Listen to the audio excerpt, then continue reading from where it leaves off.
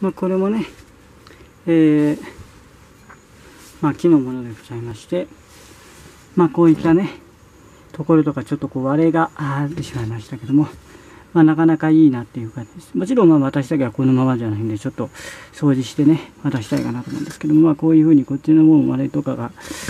ございますけども、まあ、これもちょっとほんの少しこうね、割れがありますけども、まあこう、ちょっとしたものをこう飾っあの、木のやつをこう飾ったりとかね、まあ次、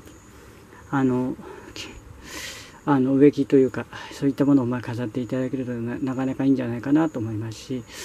まあ、これからトマトだとかキュウリとかナスとかそういったものもありますからあえてそういったものをこういう中に、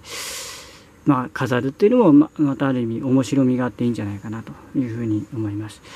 えーね、ご検討のほど、えー、よろしくお願いいたします。